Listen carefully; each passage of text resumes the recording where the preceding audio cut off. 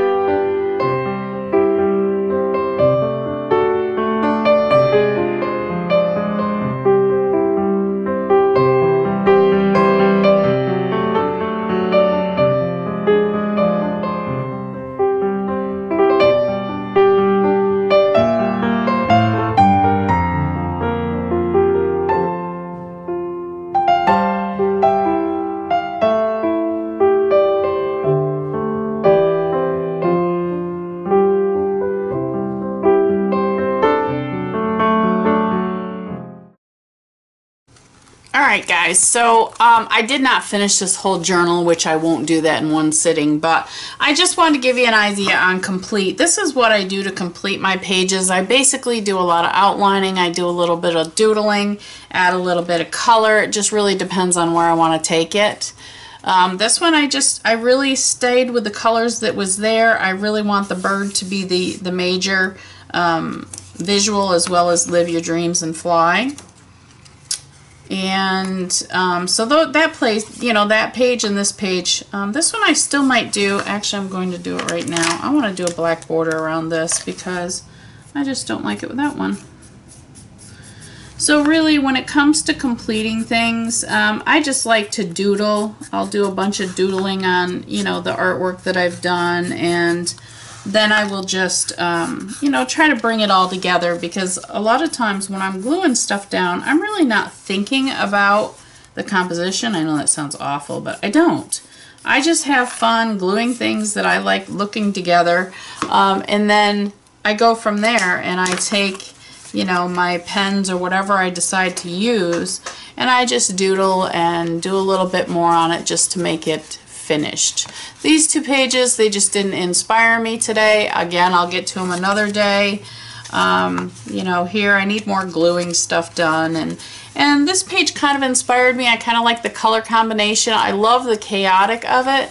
Nothing really makes sense on this, which is fine to me. It's all about sitting here in the moment, in the process, and just enjoying um, putting stuff down on paper, whether it's glue, paint, however the case may be.